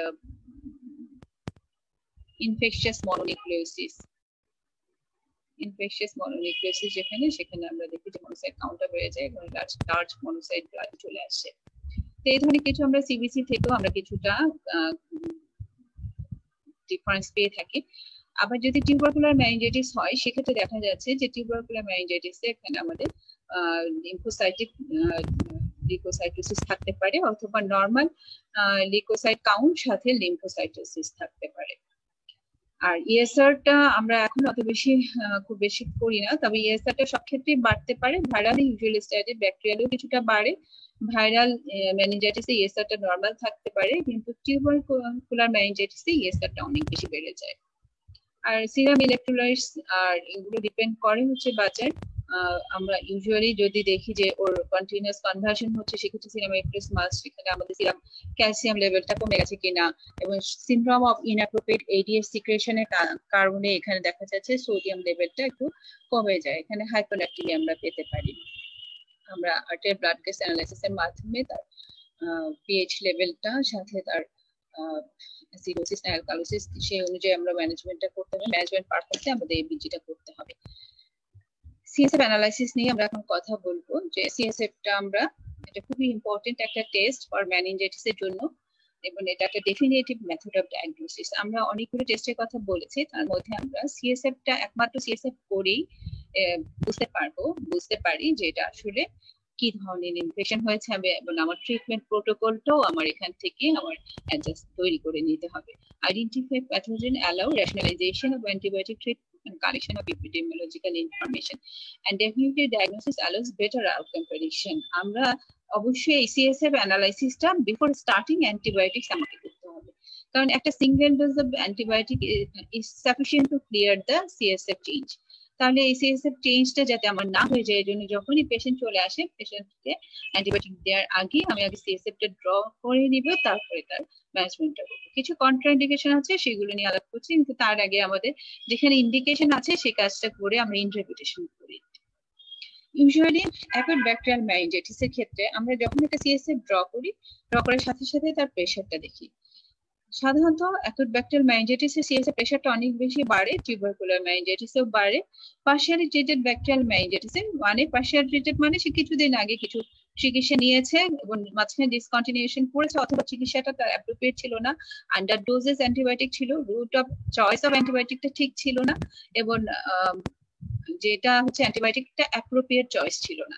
এগুলো যদি হয়, তখন এটাকে আমরা বলি পার্শিয়াল ট্রিটেড ব্যাকটেরিয়া মাইন্ডাইটিস সেক্ষেত্রে দেখা যাচ্ছে যে ওর ফিচার্স আসবে, একটু জ্বর আসবে এবং এই কনভার্সন একটা হিস্ট্রি থাকবে এবং তার যে ওয়েল বিংটা ওটা ডিস্টার্ব থাকে অল্টার থাকে। তাহলে এই ক্ষেত্রে ওর সিএসআর ফাইন্ডিংসটা সিএসআর প্রেশারটা নর্মালও থাকতে পারে মাইল্ডলি এলিভেটেডও থাকতে পারে। ভাইরাল ম্যানেজাইটিস তাই নর্মাল অথবা মাইল্ডলি এলিভেটেড সবচেয়ে বেশি প্রেশার বাড়বে টিউবাকুলার ম্যানেজাইটিসে এবং অ্যাকুট ব্যাকটেরিয়াল ম্যানেজাইটিসে এরপর আমরা কালার দেখি। কালারটা ইউজুয়ালি অ্যাকুট ব্যাকটেরিয়াল ম্যানেজাইটিসের ক্ষেত্রে যত বেশি পলিমার্ফ আসতে থাকবে, এই কালারটা হেজি হেজি হতে থাকবে। বা আমরা যেটা বলি টার্বিড হতে থাকে। মানে একটা কুজের মতো কালার হয়। এবং কখনো কখনো ঠিক পাসও চলে আসে। যত বেশি মানে ইনফেকশনটা যত বেশি ওভারহিমিং হয়। তাহলে অ্যাকুট ব্যাকটেরিয়াল মেনিনজাইটিসের সিএসএফ কালারটা হেজি করতে আমাদের সাধারণত দুইশো থেকে চারশো পলিমর্ফ বা ডেড নিউট্রোফিলই যথেষ্ট। দুইশো থেকে চারশো ডেড নিউট্রোফিল মানে একটা সিএসএফ এর কালার যখনই আমি দেখব, এটা একটু মাইল্ড হ্যাজি তখনই আমি এটা বুঝে ফেলব যে এর মধ্যে মিনিমাম দুশো থেকে চারশো পলিমর্ফ আছে। এবং যত বেশি হ্যাজি হতে থাকে, তত আমরা বুঝতে থাকি, বুঝতে পারি যে এর ভিতরে সেল কাউন্টটা অনেক বেশি। তাহলে ইউজুয়ালি আমরা ব্যাকটেরিয়াল মাইন্ডাইটিস এর ক্ষেত্রে টেন থাউজেন্ড কেন আমরা লাখ পর্যন্ত পলিমর্ফ পেয়ে থাকি। এবং ভাইরাল মাইন্ডাইটিসে ইউজুয়ালি সেল কাউন্টটা অত বেশি বাড়ে না, এটা এবং রেয়ারলি ওয়ান থাউজেন্ড উপরে। এবং more less ten to hundred এরকম সেল কাউন্টই থাকে। Rarely more than one thousand mostly ten to thousand ten to hundred এবং যে কটাই থাকে, সেটা হচ্ছে লিম্ফোসাইট এখানে কোনো পলিমর থাকবে না, কোনো ডেড নিউট্রোফিল এখানে থাকবে না ভাইরাল মাইজেটিসে পার্শিয়াল ট্রিটেড ব্যাকটেরিয়াল মাইজেটিসের ক্ষেত্রে এখানে মিক্সড সেল লাইন থাকে। কারণ এর কিছু এখনও কিছু ইনফেকশন আছে এবং কিছু ইনফেকশন মানে সাবসাইড করে গেছে। এখানে যেহেতু লং ডিউরেশন হয়ে গেছে মোটামুটি সেখানে পলিমার্ফ নিউক্লিয়ার সাথে মনোনিউক্লিয়ার সেলগুলো আসবে মানে লিম্ফোসাইটও চলে আসবে সেকেন্ড লাইন ডিফেন্সের সেলগুলো চলে আসবে। এবং ইউজুয়ালি এর সেল কাউন্ট একদম নর্মালও থাকতে পারে or it may be as high as high as 10,000 tubercular meningitis এর ক্ষেত্রে যেটা হচ্ছে সেল কাউন্ট আমাদের অত বেশি ইউজুয়ালি বাড়ে না এবং যেটা পাই আমরা ইউজুয়ালি পলিমর পলিমর্ফ বলতে মনো লিম্ফোসাইট এবং আর্লি ক্ষেত্রে পলিমর্ফ থাকতে পারে, কিন্তু সেটাও হচ্ছে খুব বেশি পাওয়া যায় না। লিম্ফোসাইটই থাকে থ্রু আউট দ্য কোর্স এবং এখানে অকেশনাল আরবিসিও পাওয়া যায়। এবং এখানে টিউবারকুলার ম্যানিনজাইটিসের যেটা হচ্ছে যে ভাইরাল ম্যানিনজাইটিসে যেহেতু ডেড নিউট্রোফিল থাকে না, এটা কালারটা ক্লিয়ার থাকে অথবা স্ট্র কালার থাকে। পার্সিয়ালিটিতে ব্যাকটেরিয়াল ম্যানিনজাইটিসে কতটুকু সেল আছে সেই অনুযায়ী এই পার্সিয়ালিটিতে ব্যাকটেরিয়াল ম্যানিনজাইটিসে ডেড নিউট্রোফিল কতগুলো আছে সেই অনুযায়ী কালারটা ভ্যারি করে। এখানে নর্মালও থাকতে পারে কালার যদি সেল কাউন্ট কম হয় তাহলে দুশো থেকে চারশোর মধ্যে পলিমর্ফ থেকে গেলে এখানে কালারটা একটু মাইল্ড হ্যাজি আসবে। কিন্তু টিউবারকুলার ম্যানিজেটিসে কালারটা স্ট্র কালার আসে, এখানে পলিমর্ফ আর্লি পলিমর্ফ যেটা থাকলেও সেটা হচ্ছে ডাজেন্ট মেক হেজি তো এই কারণে এটা লিম্ফোসাইট থাকার কারণে, অনেক সময় আরবিসি থাকার কারণে এখানে একটা জ্যান্থ্রোক্রমিক বা হেমোরেজিক হয়। টিউবারকুলার ম্যানিজাইটিস ওভারহেলমিং হলে ইনফেকশনটা যদি অনেক বেশি লোডেড থাকে ওভারহেলমিং থাকে, সেক্ষেত্রে এখানে হেমোরেজিক হতে পারে সিএসএফটা কখন এটা জ্যান্থোক্রমিক হয়? এবং ভাইরাল ম্যানিজাইটিস এর ক্ষেত্রে হাইপেস সিমপ্লেক্স এনকেফালাইটিসে কালারটা সিএসএফ কালারটা অপশনালি জ্যান্থোক্রমিক হয়। তাহলে যখন আমরা সিএসএফ কালার জ্যান্থোক্রমিক পাবো, আমরা দু তিনটা জিনিস আমাদের ডিফারেন্সিয়ালে থাকবে। একটা হচ্ছে হার্পেস সিমপ্লেক্স ভাইরাল ম্যানিজাইটিস একটা হচ্ছে ওভারহেলমিং টিউবারকুলার মেনিনজাইটিস আর একটা হচ্ছে সাবঅ্যারাকনয়েড হেমোরেজ তাহলে আমাদের জ্যান্থোক্রমিক সিএসএফ এর ভিতরে এই তিনটা থাকতে পারে। এরপর সবচেয়ে ইম্পর্টেন্ট যেটা হচ্ছে আমরা প্রোটিন দেখি, যে অ্যাকুট ব্যাকটেরিয়াল ম্যাঙ্গাইটিস মানে হচ্ছে প্রোটিন বাড়বে। যেহেতু আমরা বলেছি এটা একটা অ্যাকুট ইনফ্লামেশন এখানে ইনক্রিজ ভাস্কুলার পারমেবিলিটি এখানে প্রোটিনটা চলে আসে, তাই প্রোটিনটা বাড়তে থাকে। নর্মালি প্রোটিন আমরা আপ টু ফিফটি পাই, সেখানে এখানে হান্ড্রেড টু ফাইভ হান্ড্রেড আমরা পেয়ে থাকি। Up to forty usually forty পর্যন্ত প্রোটিন থাকে, কিন্তু সেখানে, এখানে hundred to five hundred viral ম্যাঙ্গাইটিসে protein সামান্য বাড়তে পারে, খুব বেশি বাড়ে না, সাধারণত আমরা যেটা বলি যে মাউস কিছু কিছু মাউস এনকেফালাইটিস অনেক সময় প্রোটিনটা বাড়ে। পার্শিয়ালি যেটা ব্যাটেল মাইন্ডাইটিস এর ক্ষেত্রে প্রোটিনটা আমরা প্রোটিনটা অনেক সময় বাড়তে পেয়ে থাকি আমরা। ডিপেন্ডস করে যে কতটুকু ট্রিটে টিউবারকুলার মাইন্ডাইটিস সবচেয়ে বেশি বাড়ে প্রোটিন এবং এটা হচ্ছে ব্যাকটেরিয়াল মাইন্ডাইটিস এর থেকে সিক্স টাইমও বাড়তে পারে। Up to three thousand milligram per টিএলও হতে পারে। আর গ্লুকোজটা আমরা যেটা বলেছি অলরেডি হাইপোগ্লাইকোরেশিয়ার জন্য অ্যাকুইট ব্যাকটেরিয়াল মাইন্ডাইটিসে গ্লুকোজটা ইউজুয়ালি কমে এবং এটা লেস দেন ফর্টি হয়। মানে ইউজুয়ালি সিরামে যেটা পাওয়া যায় ব্লাডে যেটা পাওয়া যায়, তার থেকে ওয়ান থার্ডে চলে আসে। ওয়ান থার্ডে চলে আসে। নর্মালি যেটা হচ্ছে আমাদের হয়তো বা সিক্সটি ফর্টি পার্সেন্ট এরকম থাকে, কিন্তু এটা তার থেকে কমে আসে অনেক বেশি। আমরা যেটা বলেছি যেটা due to decrease transport of glucose to the correct plexus viral ম্যানিঞ্জাইটিসে normal থাকে। আমরা কিছু কিছু ক্ষেত্রে, কিছু স্টাডিতে দেখেছি মাউস মেনিনজাইটিস ম্যানিঞ্জাইটিসের ক্ষেত্রে গ্লুকোজটা কমে যেতে পারে। partially treated bacterial meningitis that depends on the load of of infection নর্মালও হতে পারে, অথবা ডিক্রিজও থাকতে পারে। টিউবারকুলার মেনিঞ্জাইটিস এ এখানেও দেখা যাচ্ছে যে গ্লুকোজটা ইউজুয়ালি একটু কমে বাট কমই আমরা দেখি যে ব্যাকটেরিয়ালের মতো অত বেশি কমে না। তো আমরা এই সিএসএফ স্টাডি কখন করি না? সাধারণত প্রথমে জানি একটা পেশেন্টের যখন মানে খুব বেশি মানে মরবিড সে কোমরবিড কন্ডিশনে যত বেশি থাকে মানে কার্ডিও পালমার রেসপিরেটরি কম্প্রোমাইজেশন যখন আমরা বেশি দেখি, একটা পেশেন্ট যখন একেবারে signs of raised intracranial pressure সাথে ডিসেরিব্রেশন ডিকর্টিকেশন নিয়ে আসে তখন আমরা তো বুঝি যে এটা অবভিয়াস এখানে অনেক বেশি রেইজড ইন্টারক্রাল প্রেশার সুতরাং এখানে রিক্স অফ হার্নিয়েশন আছে। যখনই রিক্স অফ হার্নিয়েশন সেরিব্রাল হার্নিয়েশন আছে তখনই আমরা নাম্বার পাঞ্চার করব না। সেখানে যেটা হচ্ছে GC score less than eight আমরা সাধারণত আসলে লেস দেন ফাইভ এর নিচে গেলে করি এইট পর্যন্ত করি মাঝে মাঝে, যদি other features of decerebration decortication যদি না থাকে।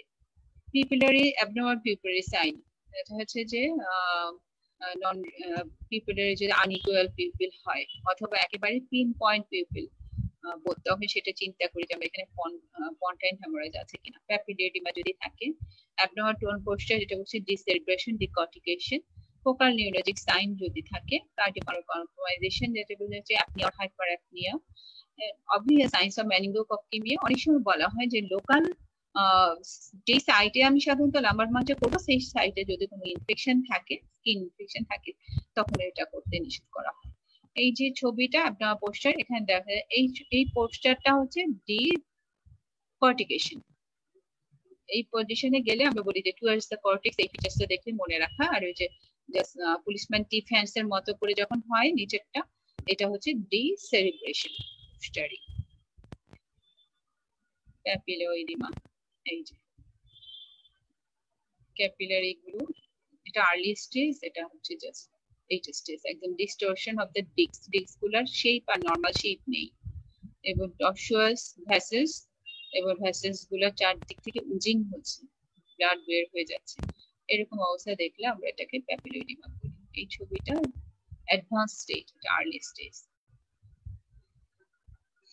এখন যেটা হচ্ছে যে আমরা সিএসএফ এর পাশাপাশি এবং অন্য সব ইনভেস্টিগেশনের পাশাপাশি কালচার করে আমরা যখন ব্যাকটেরিয়াটাকে আইসোলেট করব সিএসএফ টাকেও আমরা কালচার করে সিএসএফ যখনই করলাম, শুধু আমরা কালার প্রেশার দেখলাম কালার দেখলাম সেল সেল দেখলাম প্রোটিন দেখলাম যেটা হচ্ছে বায়োকেমিস্ট্রি দেখলাম, এর পাশাপাশি আমাদের যেটা করতে হবে যে গ্রাম স্টেইনিং করতে হবে এবং এটা সিএসএফ কালচার করেও ব্যাকটেরিয়াটাকে আলাদা করতে হবে। এবং যদি ভাইরাল মেনিনজাইটিস চিন্তা করি, তাহলে সেখানে পিসিআর বা অ্যালাইজার মেথডের মাধ্যমে আমাদের ভাইরাসটাকে আইসোলেট করতে হবে এবং কিছু কিছু ভাইরাসের অ্যান্টিবডি ডিটেকশন সম্ভব হার্পেস এর সম্ভব মিজেলস এর সম্ভব, সেক্ষেত্রে আমরা অ্যান্টিবডি ডিটেক্ট করব। কখনো ক্ষেত্রে যেগুলো কন্ট্রাইন্ডিকেশন আমরা পেয়ে গেলাম সিএসএফ যেহেতু আমরা বলেছি যে ম্যানিনজাইটিস আছে ডায়াগনোসিসের জন্য সিএসএফ একটা সিঙ্গেল টেস্ট যেটা দিয়ে আমরা এটা ডায়াগনোসিস কমপ্লিট করে ফেলতে পারি।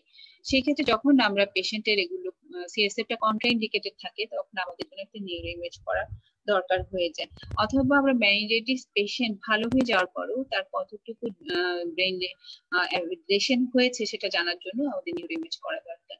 তো সেক্ষেত্রে আমরা যদি আলট্রাসাউন্ড ব্রেইন করে থাকি, সেক্ষেত্রে ম্যানিনজাইটিস আমাদেরকে কি ইনফরমেশন দিতে পারে?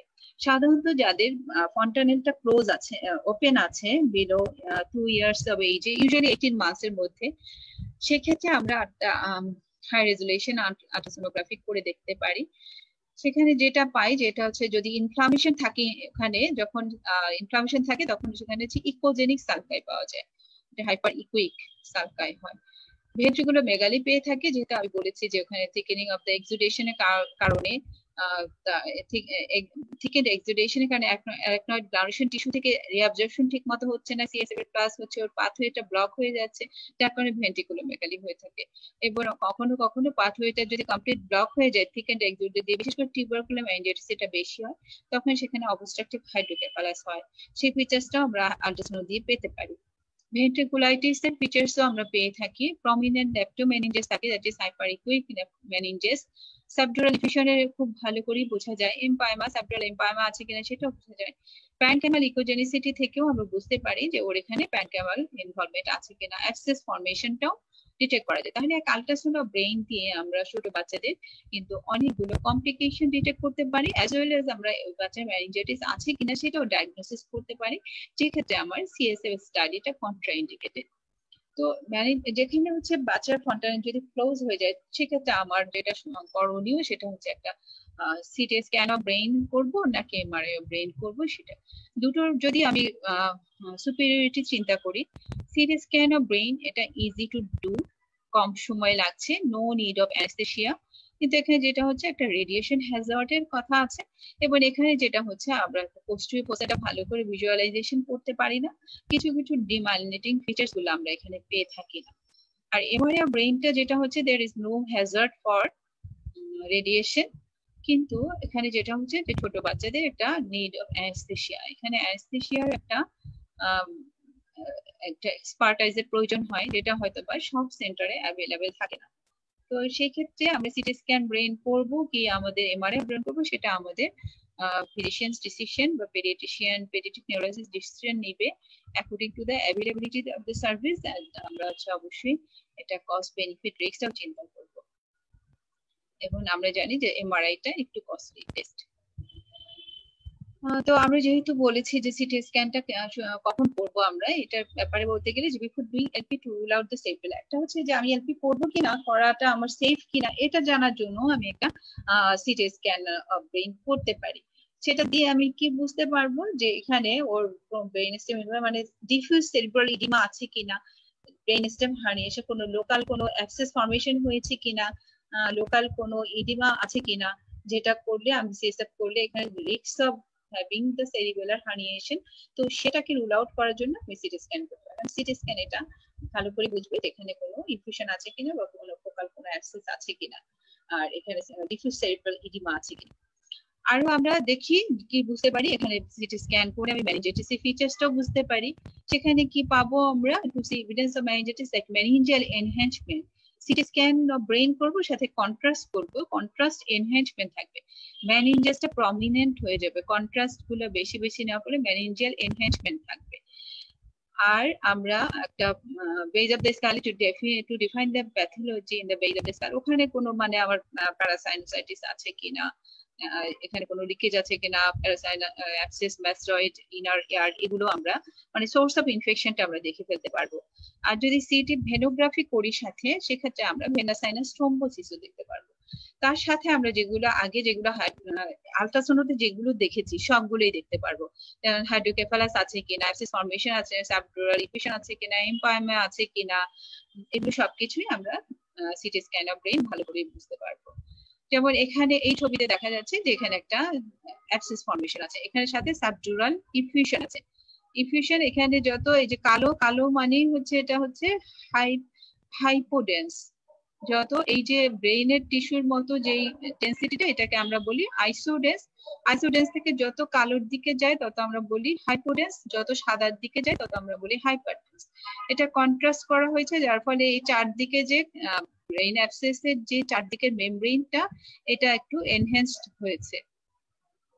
এখানে ও কন্ট্রাস্ট নিয়ে এটা এনহ্যান্সড হয়েছে ভিতরে আছে যেটা হচ্ছে অ্যাবসেস ক্যাভিটি ক্যাভিটি এখানে ফ্লুইড আছে। এটাও ফ্লুইড এটাও ফ্লুইড এই জন্য দুটোই এটা হাইপোডেন্স আমরা সাধারণত সিটি স্ক্যান ও ব্রেইনের কথা বলতে গিয়ে ডেন্স কথাটা ইউজ করি, আর যখন এমআরআই বলি, তখন একটা ইন্টেন্স বলি।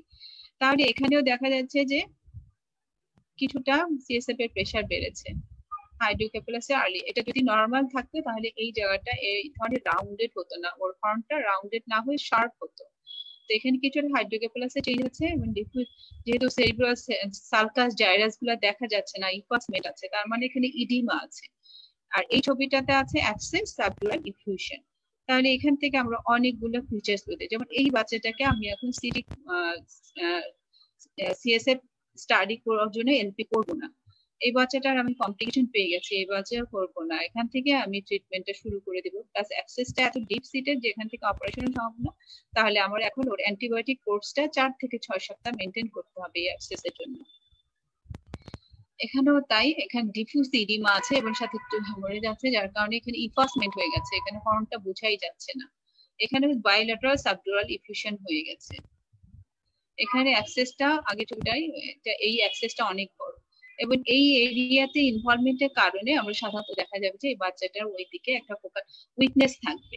সাধারণত দেখা যাচ্ছে এটা যেহেতু রাইট সাইডে ও লেফট আর্মটা উইকনেস লেগ আর্মে উইকনেস থাকবে। যদি এমআরআই ব্রেন করি সেই ক্ষেত্রে দেখা যাচ্ছে যে এটা সুপিরিয়র আমরা বলেছি, এটা প্যারেন্টকেমের লেশনটা বোঝার জন্য এবং এটাকে ইটিওলজিটাকে আইডেন্টিফাই করার জন্য এটাকে বোঝা যায় বিশেষ করে টিউবারকুলার ম্যানিজাইটিস দেখার জন্য সেখানে আমরা একটা ট্রাইড পাবো। ভাস্কুলার কমপ্লিকেশনটাও একটা আর্লি বোঝা যায়। ইনফ্রাকশন অল্প, যেটা হচ্ছে আমাদের ডি ডাব্লিউ ডিফিশন ওইটা ইমেজ করলে আমরা খুব আর্লি ওর ইনফ্রাকশনটা বুঝতে পারব। ছোট ছোট টাইনি ইনফ্রাকশনটা বুঝব এবং meningeal enhancement tiny infarction ventriculitis periventriculitis এগুলো দেখে আমরা সিটি স্ক্যানের থেকেও আগেই আমরা এমআরআইটা ডিটেক্ট এমআরআই তে ডিটেক্ট করতে পারব। এখানে এনহ্যান্সমেন্ট প্লাস হাইড্রোক্যাপালাসের ফিচার্স এগুলো পাওয়া যাচ্ছে। এখানে একটা ইনফেকশন তৈরি হচ্ছে, সেটা পাওয়া যাচ্ছে। এখানেও আছে সেলফাল ইনফেকশন অরবিটাল এরিয়াতে খুব আর্লি ডিটেক্ট করা যায়। এখানে যে ইফার্সমেন্ট হয়ে গেছে এখানে কিছু সেলফাল এডিমা আছে, সাথে এখানে একটু ইফিউশন আছে। এখানে বাইলেটারাল ইফিউশন আছে।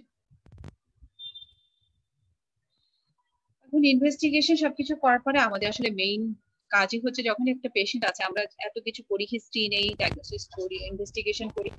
All due to for the management of the baby তো এই ম্যানেজমেন্টে প্রথমে যেটা হচ্ছে, আমরা যেহেতু এটা একটা মেডিকেল এমার্জেন্সি এবং অনেক সব patient any any children with CNS manifestation, এটা একটা emergency condition এবং always it should be managed with A, B, C, D manner যখন পেশেন্ট কনভার্সন নিয়ে আসবে, তখনও প্লাস যখন পেশেন্ট আনকনসিয়াসনেস নিয়ে আসবে, তখনও এবং যখন পেশেন্ট অল্টার সেন্সরি নিয়ে আসবে তখন আমাদেরকে এইভাবে ম্যানেজ করতে হবে। এয়ারওয়ে ব্রিদিং সার্কুলেশন ড্রাগস আর সার্কুলেশনটা মেনটেন করব। আমরা যেখানে হচ্ছে এয়ারওয়েতে আমরা জানি just clear the airway the positioning of the baby আর তারপর হচ্ছে যে ব্রিদিংটা করব whether the patient required oxygen hyper apnoea বা অ্যাপনিয়া যেটাই থাকুক, আমাদের অক্সিজেন একটা সাপ্লিমেন্টেশন দিতে হবে অক্সিজেন সাপ্লাই দিতে হবে। সার্কুলেশনটা মেনটেন করব। একটা যখনই আমরা একটা আইভি ক্যানুলা ইনস্টলেশন করব, তখনই তার আমরা ব্লাড স্যাম্পলটা নিয়ে নিব ফর টেস্ট পারপাসে এর সাথে আমি কতটুকু ফ্লুইড দিব, কি ফ্লুইড দিব? বাচ্চা যদি কনভার্সিভ থাকে সেক্ষেত্রে অবশ্যই আমরা যেহেতু ওরাল দিব না, তাকে ফ্লুইডটা চব্বিশ ঘণ্টার ফ্লুইড আমরা ক্যালকুলেট করতে হবে। আমরা বলেছি যে এখানে সিনড্রোম অফ ইনঅ্যাপ্রোপ্রিয়েট এরিয়েজ হয়, তাই আমরা কিছু ফ্লুইড রেস্ট্রিকশন করে নিব। আর সাধারণত ইউজুয়ালি এখন যেটা বলে যে খুব বেশি রেস্ট্রিকশনের প্রয়োজন হয় না। যদি সিআর ডেভেলপ না করে নর্মালি রেস্ট্রিকশন করব না। সিআর ডেভেলপ করলে সেখানে ফিচার্স পারলে আমরা যদি হাইপোনাট্রিমা পেয়ে যাই ডাইলুশনে সেক্ষেত্রে আমরা টেন টু টোয়েন্টি পার্সেন্ট কার্টেল করব।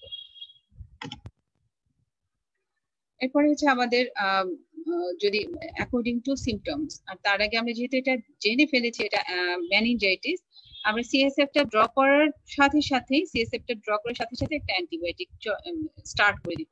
সেই অ্যান্টিবায়োটিক চয়েসটা হবে choice depends on positive pathogens resistance to local pathogens penetration penetration of CSF তাহলে কোনগুলোর অ্যান্টিবায়োটিক্স আমরা সিএসএফ পেনিট্রেশন ভালো সেটা আমরা মোটামুটি জানি। আর এই অনুযায়ী যেটা বলব যে আমরা জানি যে লাইকলি প্যাথোজেন কোনগুলা group B strepto E coli Listeria এদের জন্য আমরা empirical antibiotics ampicillin cefotaxime add করি। যখনই আমরা চিন্তা করছি এটা ম্যানিনজাইটিস নিউনাটাল পিরিয়ডে আমরা অ্যাম্পিসিলিনটা ডোজটা ম্যানিনজাইটিক ডোজে দিয়ে দিব। Four hundred milligram per KG six hourly সেফোটেক্সিমটা আমরা ম্যানিনজাইটিক্স ডোজে ম্যানিনজাইটিক ডোজে সেটা হচ্ছে two hundred milligram per KG per day six hourly neonatal পার হয়ে যাওয়ার পরে যখন আমরা চিন্তা করব যে এখানে স্ট্যাফাইলোকক্কাস অরিয়াসটা অ্যাড হচ্ছে, সেই ক্ষেত্রে আমাদেরকে লেট নিউনেটাল পিরিয়ডে সেপ্রোটাক্সিম এন্ড ভ্যানকোমাইসিন সেপ্রোটাক্সিমের সাথে অ্যাম্পিসিনে বাদ দিয়ে, কারণ অ্যাম্পিসিনটা মোস্টলি ডিউ টু লিস্টেরিয়ার জন্য স্পেসিফিক্যালি ইউজ করা হয়, যেটা আমাদের দেশে খুব বেশি অ্যাভেলেবেল না। সুতরাং আমাদের স্ট্যাফ অরিয়াসকে আবার দিয়ে ভ্যানকোমাইসিনটা আমরা অ্যাড করতে পারি sixty milligram per KG daily six hour on two three মাস বা আপ টু সিক্স ইয়ার্স পর্যন্ত আমরা যেটা দেই আমাদের empirical antibiotic cefotaxime or ceftriaxone hundred milligram per KG per day plus vancomycin এই ভ্যানকোমাইসিনটা sixty milligram per KG per day six hourly আমরা যদি এটা রেসিডেন্ট যখন পাই সেফট্রাইজিনের অনেক সময় রেসিডেন্ট হয়ে গেলে পরবর্তীতে আমরা যেটা হচ্ছে মেরোপেনাম ভ্যানকোমাইসিনে চলে যাই কতদিন ধরে আমরা এই অ্যান্টিবায়োটিক দিব এবং এই রুটটা অবশ্যই হবে ইন্ট্রাভেনাস রুট যদি আমার অর্গানিজম হয় নাইসিরিয়া ম্যানজিটাইটিস এটা স্পেসিফিক্যালি সেপ্রাইজিন দিলে এটা আমরা seven days ট্রিটমেন্টই adequate for clear the pathogens strep to pneumonia হলে অবশ্যই এটা টু উইকস আমরা কন্টিনিউ করি। গ্রাম নেগেটিভ অর্গানিজম এবং গ্রুপ বেস স্টেপিওকাকাস হলে থ্রি উইকস মিনিমাম যদি অ্যাবসেস ফর্মেশন হয়ে যায় কমপ্লিকেশন সেটা আমাদের four to six weeks of IV treatment দিতে হবে। আর যদি আমার আননোন প্যাথোজেন থাকে, আমি জানতে পারছি না এম্পেরিক্যাল অ্যান্টিবায়োটিক সেক্ষেত্রে আমাদের duration of antibiotic should be selected based uh, based on the CSF clearance. CSF টা ইনিশিয়াল ফাইন্ডিং যেটা থাকবে সেটা ক্লিয়ার হয়ে যেতে হবে। প্লাস আমার পেশেন্টের সিমটমসগুলো রিলিভ হয়ে যাওয়ার পরও আমার at least three to five days IV IV antibiotics continue করতে হবে যেটাতে সে জ্বরটা কমেছে। অথবা আমি টু উইকস পর্যন্ত এম্পেরিক্যাল দিতে পারি। সবচেয়ে গুরুত্বপূর্ণ ব্যাপার হচ্ছে রোল অফ স্টেরয়েডস এই যে অ্যান্টিবায়োটিকটা দেওয়ার সাধারণত আমরা বলি must be given one to two hours before the initiation of antibiotics এই অ্যান্টিবায়োটিক দেয়ার এক থেকে দুই ঘণ্টা আগে। এখন কথা হচ্ছে যে, কেন আমরা স্টেয়ার্স দিচ্ছি? স্টেয়ার্স হচ্ছে ডেক্সামেথাসোন রেকমেন্ডেড এখানে দিচ্ছি ইউজুয়ালি এটা কোনো সিএসএফ পেনিট্রেশন বাড়ানোর জন্য বা অ্যান্টিবায়োটিকের অ্যাভেলেবিলিটির জন্য, এটার জন্য না। বরঞ্চ আমরা স্টেরয়েড যখনই দেই স্টেরয়েড দেওয়ার ফলে কিন্তু তার পেনিট্রেশনটা অ্যান্টিবায়োটিক পেনিট্রেশনটা কমে গেল। কারণ সে ইনফ্লামড যেই ব্লাড ব্রেন ব্যারিয়ার আছে, সেটাকে সেই ইনফ্লামেশনটা কমিয়ে দেয়। স্টেরয়েড যেহেতু একটা অ্যান্টি ইনফ্লামেটরি ড্রাগস তার কমিয়ে দিলে সেখানে ইনফ্লাম ব্লাড ব্রেন ব্যারিয়ার দিয়ে অ্যান্টিবায়োটিক্স খুব সহজে যেত, এখন কিন্তু যাবে কম। তাহলে তারপরে আমরা কেন দিচ্ছি? Before starting the antibiotics half an hour বা one to two hours before the starting of the antibiotics দ্বিতীয় হচ্ছে এই কারণে যে এই যে অ্যান্টিবায়োটিক্স দেওয়ার পরে আমার যে ব্যাকটেরিয়ার সাথে অ্যান্টিবায়োটিক্স এর যে একটা যুদ্ধ হবে, সেই যুদ্ধে যে একটা সাইটোকাইন স্টর্ম হবে, এই সাইটোকাইন স্টর্ম মধ্যে সাইটোকাইন ইনডিউস যে অটোটক্সিসিটি হেয়ারিং লস এই জিনিসটাকে প্রিভেন্ট করার জন্যই আমরা দিচ্ছি। তাহলে এটা প্রিভেন্ট করার জন্য আমরা দিচ্ছি কেন? এই স্টেয়ারটা দিলে কি হবে? এই যে সাইটোকাইন স্টর্মটা কমে যাবে, কারণ এটা একটা অ্যান্টি ইনফ্লামেটরি ড্রাগস তাহলে এখানে ডেক্সামেথাসোন দিতে হবে। Before starting of the antibiotics কতদিন দিব? কোন ডোজে দিব? Zero point one five milligram per KG per dose six hourly for two days এছাড়া সাপোর্টিভ কেয়ার যেটা আমরা এবিসিটি ম্যানেজমেন্ট শুরুতেই বলেছি, তখনই আমার এই কয়টা জিনিস মেনটেন করতে হবে। সাপোর্টিভ কেয়ারের মধ্যে যে তার টুই যখনই দিব সার্কুলেশন মেনটেন করব। মেনটেন্স অফ দ্য নর্মোভোলিমিয়া তার অবশ্যই সিবিজি দেখে, তার গ্লাইসেমিক স্ট্যাটাস দেখে, তার গ্লাইসেমিক স্ট্যাটাসটাকে নর্মাল করবে। তার টেম্পারেচার যদি হাইপারথার্মিয়া থাকে, আমরা প্যারাসিটামল দিব। হাইপোথার্মিয়া থাকলে তাকে ব্ল্যাঙ্কেট দিয়ে কভার করে টেম্পারেচারটা রেজ করব। তার নর্মোটেন্সিভ স্ট্যাটাস মেনটেন করব। আইভি ফ্লুইড দিয়ে আইভি ফ্লুইড আমরা অ্যাকর্ডিং টু এইজ অনুযায়ী তাকে চয়েস করব। তার care of the skin care of the mouth care of the bowel bladder এগুলো তার সাথে সাথে তার ইমিডিয়েট যে কমপ্লিকেশনগুলো আছে, সেগুলোর ট্রিটমেন্ট করব। সে ইমিডিয়েট কি কমপ্লিকেশন নিয়ে আসতে পারে? সে সিজার নিয়ে আসতে পারে কনভার্সন তাহলে এটা অ্যাকর্ডিং টু প্রোটোকল আমরা first line second line third line আমরা অ্যান্টি অ্যান্টি কনভার্সনগুলো স্টার্ট করব। আমার কনভার্সন আছে পেশেন্টে আমি এই মুহূর্তে পারেক্টাল ডাইজিপাম দিলাম। পারেক্টাল ডাইজিপাম ফার্স্ট ডোজ দেওয়ার পরে কন্ট্রোল হলো না ফাইভ মিনিটস পরে আমি আরেকটা দিব। কন্ট্রোল হলো না টেন মিনিটস পরে আরেকটা দিব। তিনটাতে কন্ট্রোল না হলে এরপর আমি ফার্স্ট ফেনিটনে চলে যাব। ফার্স্ট ফেনিটনে চলে গেলাম লোডিং ডোজ দিলাম thirty milligram per KG dose সেটা দেওয়ার পরে কাজ হচ্ছে না, আমি সেকেন্ড লোড দিতে পারি, অথবা আমি সরাসরি ফেনোভাবিটাল চলে যেতে পারি। ফেনোভাবিটাল অ্যাভেলেবেল থাকে। সেটা টোয়েন্টি মিলিগ্রাম পার কেজি একটা দিলাম স্ট্যাট একটা লোডিং ডোজ এই লোডিং এর কাজ না হলে আমি নেক্সট চলে যাব হচ্ছে আইভি মিডাজোলামে এর পাশাপাশি আমরা যখনই দেখি যে কন্টিনিউয়াস সিজার হচ্ছে সিজারের সাথে অবশ্যই এই সিজারটা ডিউ টু আমরা যেহেতু বলছি সেরিব্রাল ইনফেকশন এবং seizure due to raised ICP যত বেশি হবে, তত বেশি সিজারটাও কন্টিনিউ হতে থাকবে। তো দ্যাটস ওয়াই আমার রেইজড আইসিপিটা কন্ট্রোল করতে হবে। আমরা যখনই চিন্তা করব বাচ্চার রেইজড আইসিপি আছে, তখনই তাকে আমার একটা কুল রুমে নিতে হবে সাউন্ড ফ্রি রুম একটু হচ্ছে ডার্ক মানে লাইট কম থাকবে রুমটা কুল থাকবে রুমটা সাউন্ড ফ্রি থাকবে। এবং মাথার হেড মুভমেন্টটা ওর কম থাকবে হেড কুলিং মেথডটা ইউজ করব আমরা। মাথাটাকে ঠান্ডা করে দিতে হবে। এই সাথে যখন আমার আইভি ম্যানিটল থাকলে আমি ম্যানিটলটা স্টার্ট করে দিলাম five M L per KG body weight হিসাবে। এটা এইটা only for seventy two hours maintain করতে পারি আমরা according to status of the raise ICP আর যদি সেটা না থাকে হাতের কাছে, আমি হাইপার ভেন্টিলেশনটা যদি পেশেন্ট কনসিয়াস করব, না হলে আমি হাইপারটনিক স্যালাইন দিতে পারি। ডিফাইন্ড রেকমেন্ডেশন আছে, তবে আমরা ম্যানিটলে বেশ ভালো রেসপন্স পাই এবং যতক্ষণ না ম্যানিটল আসে, আমরা একটা হাইপারটনিক স্যালাইন ইউজ করতে পারি। তো এই ট্রিটমেন্ট পরে আমাদের অনেক কিছু কমপ্লিকেশন হয়।